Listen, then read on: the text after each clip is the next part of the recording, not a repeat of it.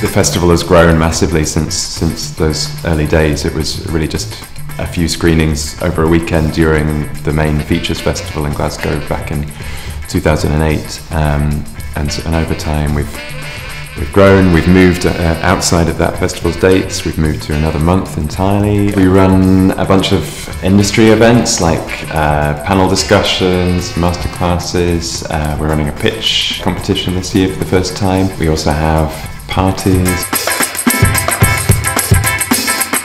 There are, there, are, there, there are so many people attending festival thinking that it's just a screening of film.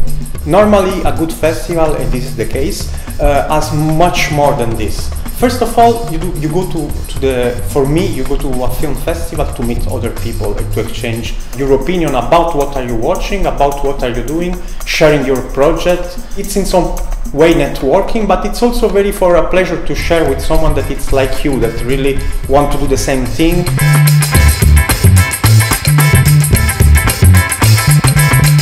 Who would I recommend the Glasgow Short Film Festival to? Um, everyone living in Glasgow, obviously, because they're here already.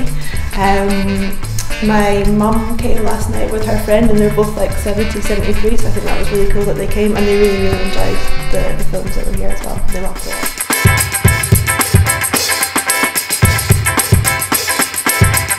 You know, we want to keep growing, but we don't want to to lose what makes the festival unique, um, which is its the atmosphere and the inclusivity. Yeah, I think we just want to keep getting great filmmakers and great guests and interesting events. For me, it's really exciting just to be discovering spaces in Glasgow that I wasn't previously familiar with and, and bringing other people to them.